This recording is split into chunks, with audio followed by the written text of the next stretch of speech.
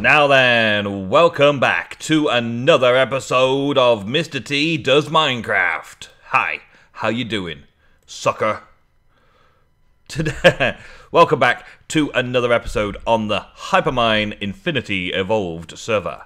Hello, and good day, and welcome. I've been doing a little bit of work, a little bit of uh, tidying the place up, making the place look good, a little bit, I guess. Put some doors on, put some pressure plates on, put some signs up for my office block factory area.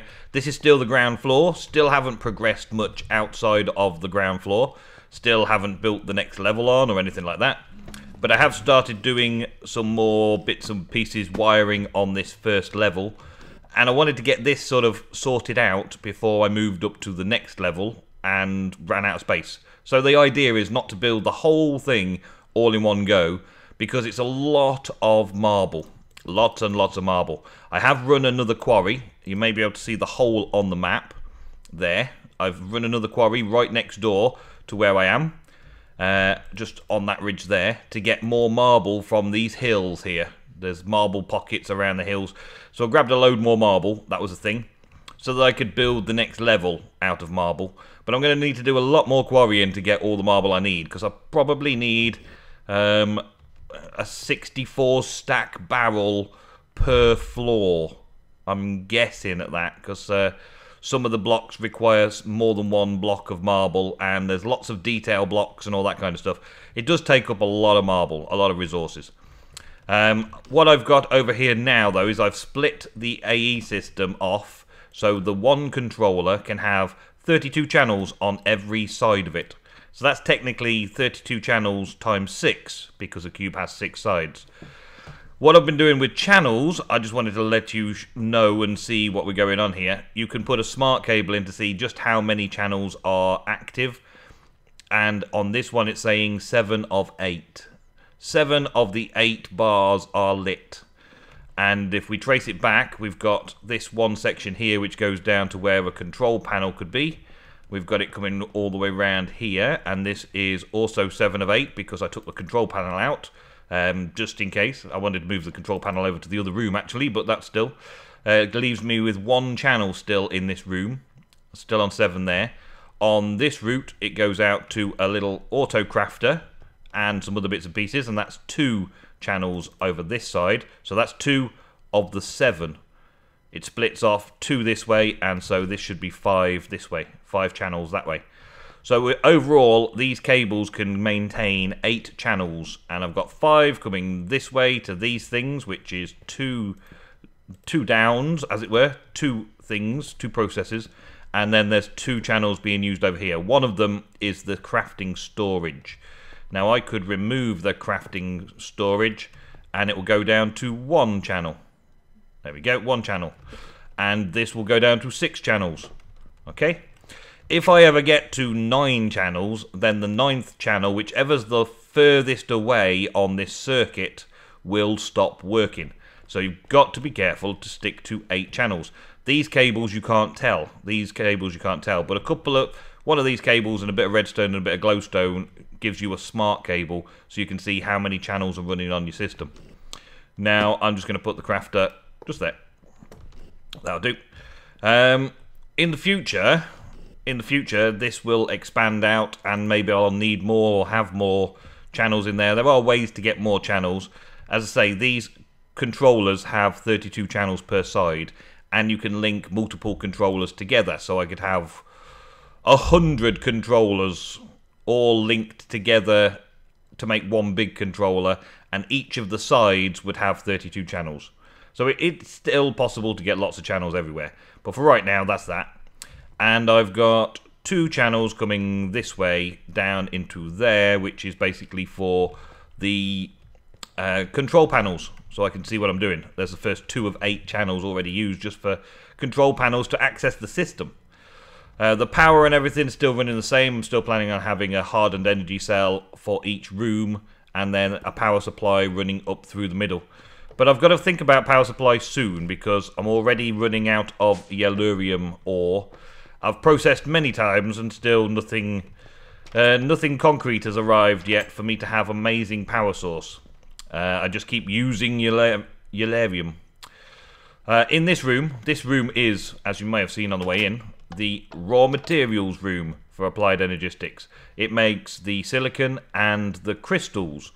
So this is kind of half the room is processing those raw materials. The other half, I will probably process some other raw materials that I need in the future. Just nice, simple, um, infinite cycles, like this one that we already have explored, the infinite silicon, just requires power and it gives you infinite silicon. So I've got storage buses, which take up most of the devices for the channels.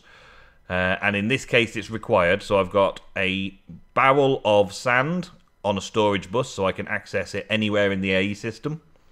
I've got a barrel of cobblestone, which I can access through a storage bus from any of the AE system.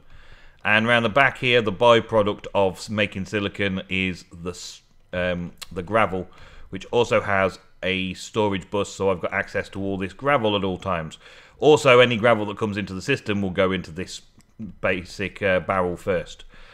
I thought about putting a void upgrade on these, but then these machines would just constantly run. And having having this running constantly to make cobblestone is not a problem because it's just a cobblestone gen. It doesn't even use power but having the cobblestone then pulverized constantly to make sand is yeah, a problem. And having the sand pulverized constantly to make silicon would lead too much. So I put this little mini chest there so that I would only actually have two stacks in the pulverizer and one stack in the mini chest at all times. And as for the other devices that I've crafted, this one is a simple one.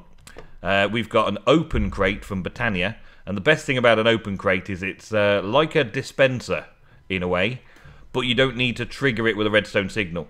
Anytime something goes into an open crate, it just falls out and drops down. So what I've got here is an interface with the Fluix crystals available. Fluix crystals you make by putting nether quartz, charged Certus quartz and redstone in a pool.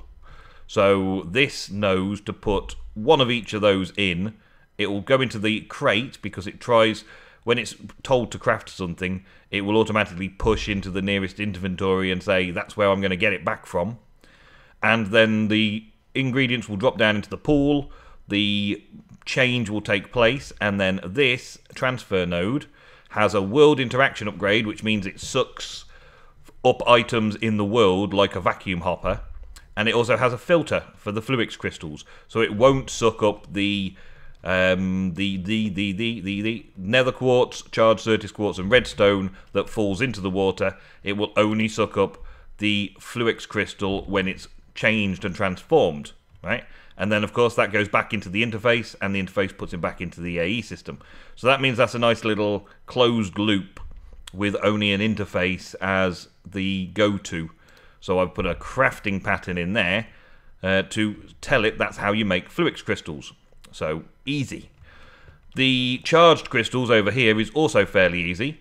Uh, in this case, we've got an interface that puts the Certus quartz into the available inventory next to it, and then once the charge takes place, it gets sucked out and comes back up here. Now, I don't think I need to worry about making this a whitelisted charge Certus quartz, but I did it anyway uh, I think there's it only outputs charged Certus quartz and it only allows input of Certus quartz. So I should think that that sucking out and putting it back into the interface would be okay without the whitelist, but I've left it as that anyway. And of course, these things can be powered through AE cables. AE machines can be powered by AE cables, so I didn't need to put a power supply down here. Uh, whereas this over this side, I needed a power supply because they're thermal expansion machines. And then this beauty in the middle here, well, this is one of the one of the things that has always been like an issue is waiting for seeds to grow into uh, crystals. So I've got a similar thing. I've got the middle of the workings there is another open crate from Botania. What I've what I have here is the interface at the start, right? And everything leads to the interface to put things back in. So it's a closed system in and of itself in that way. So the interface is going to know how to make patterns, well, going to know how to make um, seeds, and we're going to sort that out straight away. Okay, to use patterns, you need a pattern terminal. And a pattern terminal looks very similar to a crafting terminal, made slightly differently. Uh, it's a crafting terminal with an engineering process makes a pattern terminal. So it's an upgrade on a crafting terminal, basically. And inside here, I can set up um, the crafting recipes, patterns that the AE system can then understand. So each pattern is like a crafting recipe. So, for instance, what do we get to make the seeds grow, which is what we're working on first of all. This is going to be tons and tons of patterns in future, right? To make sand and Certus quartz turn into a Certus quartz seed is a simple crafting pattern. And I could teach that straight away to there, and that now is an encoded pattern. However, I don't want the seeds that way, so I'm going to shift, right click and clear that black pattern and turn it back into a blank pattern. Uh, what I'm dealing with in my setup is I don't have the Certus Quartz dust created. And I do have the sand created. But I can also use cobblestone to generate the sand. So let's get the cobble. Cobble. Thank you. Give me a piece of cobblestone. So I'm going to do one piece of cobblestone and one crystal. Uh, one of those Certus Quartz crystals. So very, very raw materials will make nothing according to the pattern terminal.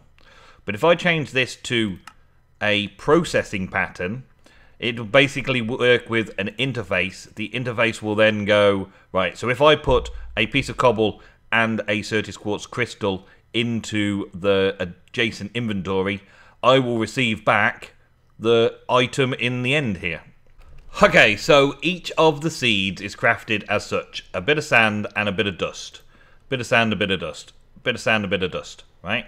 So the input for this machine is a piece of cobble that gets pulverized into sand and one of these crystals that gets pulverized into its dust component comes into here and then outputs as a seed. The seed then goes grows, and then the seed comes, well, the produce comes back up and into this interface, which will be one of these pure crystals. So then the pure crystals need to be part of my pattern. So this is a, a kind of an obscure crafting recipe.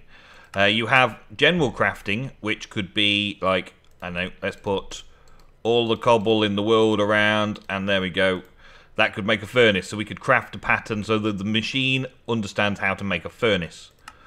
Or we can go for a processing pattern which understands that if you put the cobblestone and this Certus quartz crystal into a machine, it will output that. Which allows you to do a lot of other things.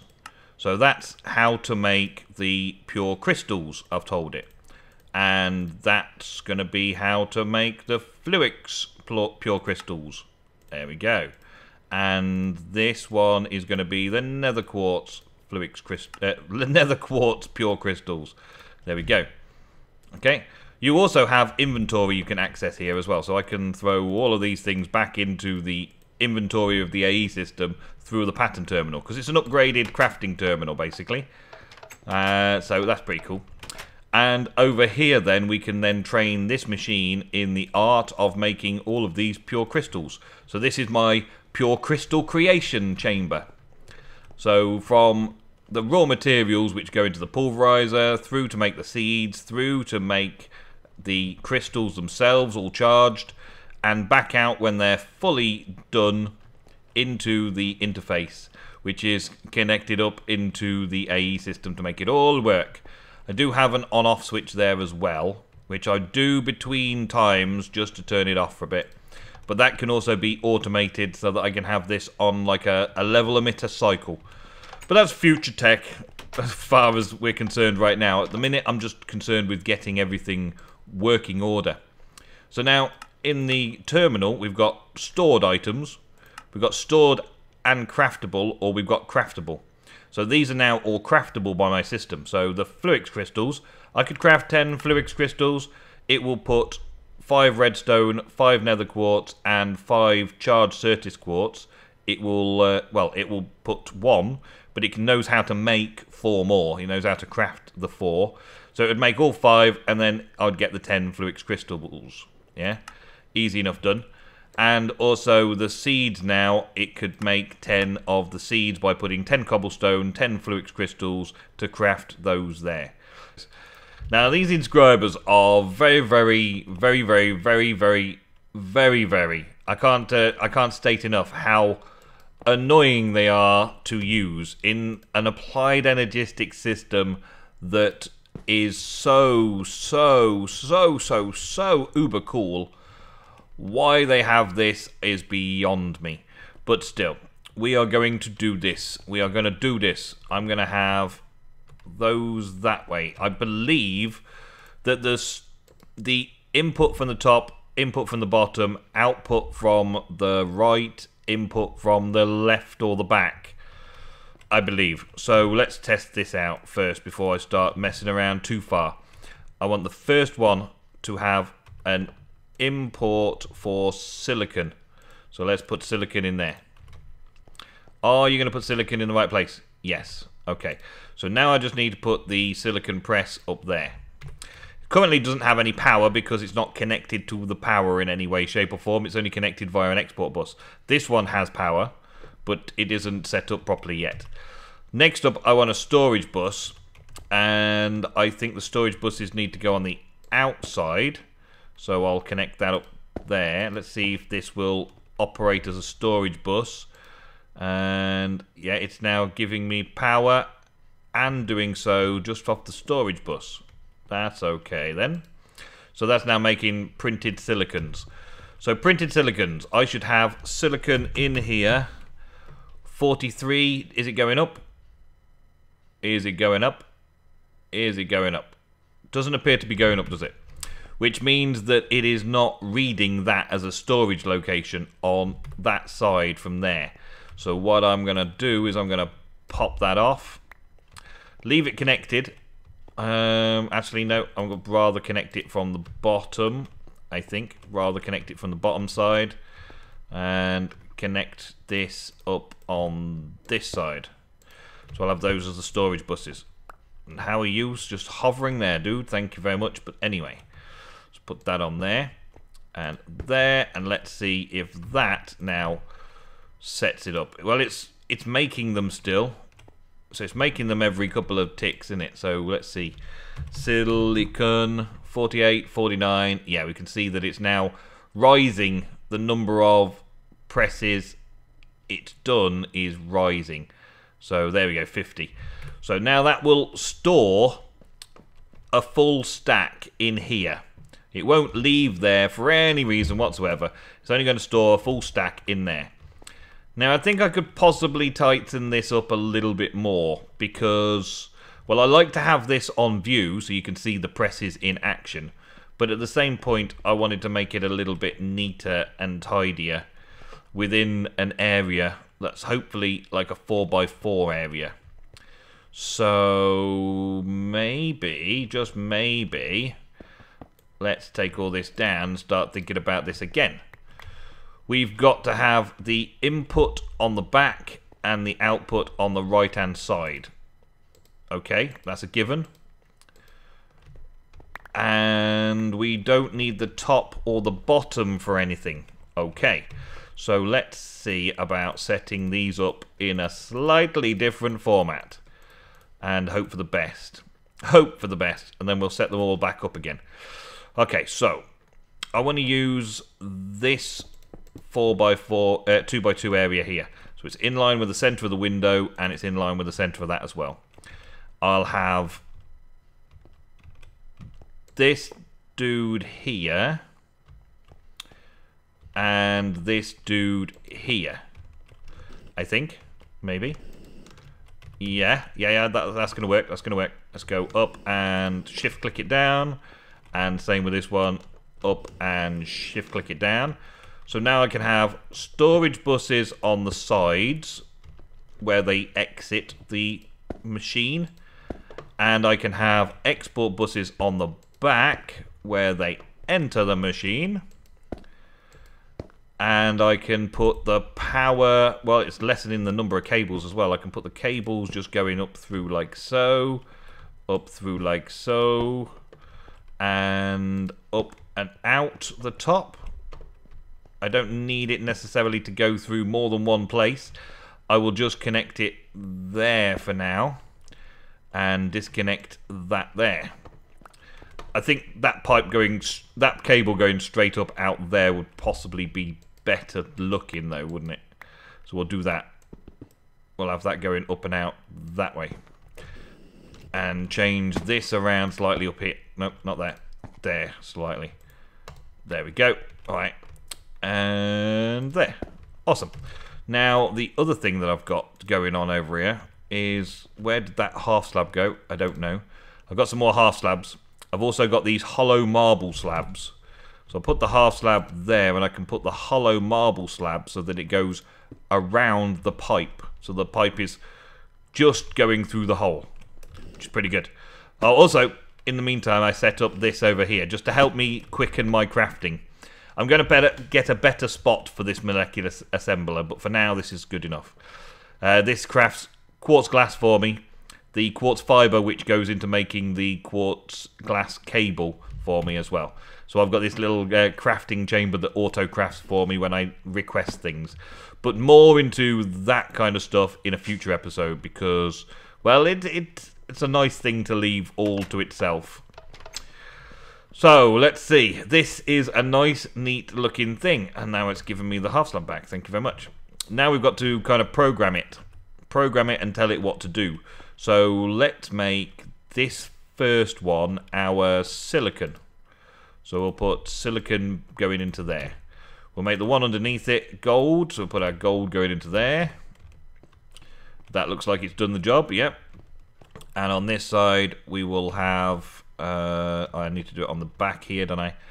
This one, we will have our pure quartz, and this one will have our diamonds.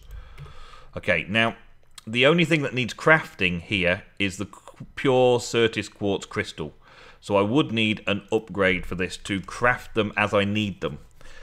Um, but I might do something else with that just yet. I'll see. So they're all hovering in, keeping stock. That's good. So if I put the presses in there, are they going to get power? Are you going to give me power? No. So I might need to do something set up for the power as well. Previously, the power was going in through there, but I'm guessing that's not a thing anymore or I've disconnected the power up there somewhere and forgotten how to change it. But the calculation presses and all that kind of stuff can go into there like that. Uh, the the idea... Oh, they are getting some power. That one is getting some power anyway. It's got the power in from the top there, yeah. Okay. Maybe I need to add another connection of some kind into those.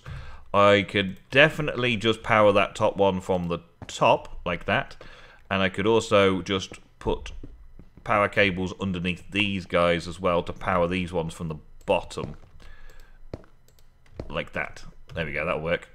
Uh, unfortunately that means then I don't use the blocks but still it's a nice neat looking structure in and of itself. Right smack bang in the middle there it's pretty good. And these should now be processing and storing printed logic circuits. And this one will be doing printed silicon circuits. And around here, of course, we're doing uh, calculation circuits and printed engineering circuits. So they'll get up to a full stack of each in there, and the storage bus should allow me to access these circuits from in here. There we go, look. So, printed calculation circuit, engineering circuits on 9, logic circuits on 7, so they should go up. Yeah, they've gone up to 10, and this one should go up to 8. There we go. So as these fill up in here, I will have a stack of logic circuits, for instance, and this storage bus will access those and allow me to draw them out of here as and when I need them.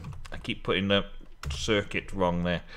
Uh, as and when I need them, I can take them out of there and it will then go combining with the printed silicon and all that, which is the next stage. Uh, but this has taken up one, two, three, four, eight, eight of my channels on one cable to get this done and fully automated. Kind of like the look of it though, it looks pretty good to me. I don't, on the other hand, like the look of this. This does not look neat to me yet. There is another way. I'm sure there's another way. This is just, I had an idea, started putting things in the right places, ended up putting things everywhere, and now it works. it's a monstrosity, but it works. It's a kind of a symmetrical non monstrosity nonetheless, but it works. Cables everywhere. I will refine this and show you a bit later on.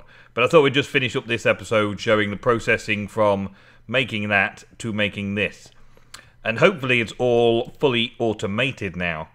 So let's see. I've got some calculation processes in there. Uh, let's go to crafted actually. Let me show you this. So let's put all this back in here as well. Have that. You can have it all. Thank you. So I've got the logic processors. Let's put them uh, sort by number. Yeah, okay, we can do that. Logic processors, calculation processors, and engineering processors are all craftable in there now. I've also got these formation cores and blank patterns and cables and covered cables and quartz fibers and glass and all these other things. So you know where I'm getting all the resources from, all the raw materials, but I've also got this set up over here. I've brought my little crafting storage. It's only a 1k. I'll do more than that eventually, but just for now, getting set up. Just to make it easier for me, I've put some of the basics ingredients for many crafting recipes for AE in this interface that'll use this molecular assembler to create things. And I've put a couple of basic vanilla recipes in there to make the sticky pistons and the pistons and all that that I've been needing for some of them as well. So let's just show you how that works. So let's craft a piston. Alright, oh, I missed it. Let's craft a piston. Next, and it will use the processor, and it should have, it's probably already done it. It's probably already done it. Let's go uh, Let's show sorted. Yeah, it's already done it. Craft a sticky piston. Next. It's just going to add a slime ball in it. Yeah, it's done. it's that fast. It's quickly doing things for me. But in, let's say, uh, an import bus or an export bus or a storage bus or something like that, it's going to need to craft all the component parts to make what I need. So when I need an interface, for instance, an interface. An interface is thus. It needs two formation cores, some glass, and some iron. Now, I've taken to an idea that I had this afternoon while I was setting all this up and recording it and all sorting it all out, to have the system all sort of like self-sufficient and on its own sort of area. So here is what I would call an input chest or um, a resources chest. So somewhere else in my bases, somewhere else in my base, I will put a stack of each of these kind of items in an ender chest. And that ender chest will be sitting right here with a storage bus on the back, only receiving one stack of each, but constantly refilling when I use it. Okay, so all these materials I get from somewhere else and bring into the system here. I'm then crafting all the resources and things and bits and pieces out of what's in there uh, and I'm keeping all of my AE stuff on this level, all my AE crafting stuff, separate. Uh, so it all ends up going into this single chest. Which is why you don't see everything I've got in there. You just see everything that's in the AE crafting area in this um, screen. I move this round here so that I had my portable storage of everything I've got just round the corner for crafting up the first items and getting items out to put into that chest, that kind of stuff. That chest will be an ender chest, and hopefully that'll be pretty soon, and I'll have something automating the stocking of that ender chest as well. But for right now, this is very, very clean, and I can see exactly what I've got, what I'm craftables and everything like that. And I'm generally just making everything that AE can craft. Uh, let's make another calculation press. Let's go next and start, and we'll see that in action. Okay, so it comes in. This has a recipe in here for those, which you'll put into this chest. The chest then pumps or pipes the items out into the right locations. It then creates the circuit, and then the AE system removes it from the inscriber and puts it back into there. So I should have two now. Should have two of those. Yeah, there we go. I've got two calculations processors. And this isn't the neatest job in the world, but I like to do it a bit better. On the back here, we're going redstone down and into the back.